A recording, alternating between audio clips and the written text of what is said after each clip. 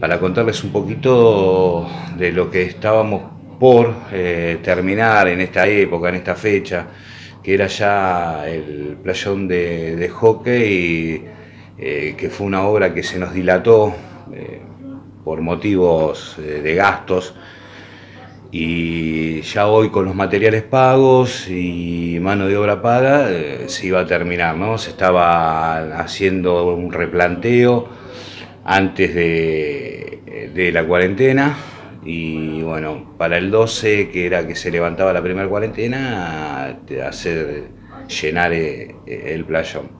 Lamentablemente no se pudo hacer, eh, una cuestión ¿no? Eh, de fuerza mayor, que es lo que estamos viviendo hoy en día. desde ya, de parte de ñomos, vemos que la mayoría de la gente colabora con lo que puede, que es lo que mejor podemos hacer, que es quedarnos en casa que en eso estamos todos de acuerdo, y salir en, eh, los casos excepcionales, ¿no? que es ir a buscar un alimento o, algún medicamento.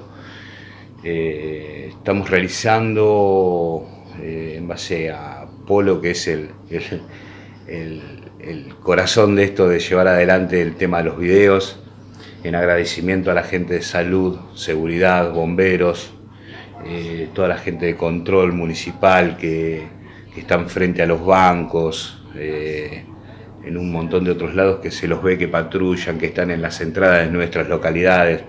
Agradecer a todos ellos el esfuerzo por cuidarnos. Eh, eh, ¿no? obviamente al gobierno municipal, desde su intendente Cristian Cardoso hasta los funcionarios que están haciendo lo mejor y trabajando para que todos nosotros estemos bien. Desde ya, bueno, el agradecimiento de ñomos Rugby para todos, a igual que para, gente, para la gente del cable que eh, lleva siempre las noticias a nuestros hogares.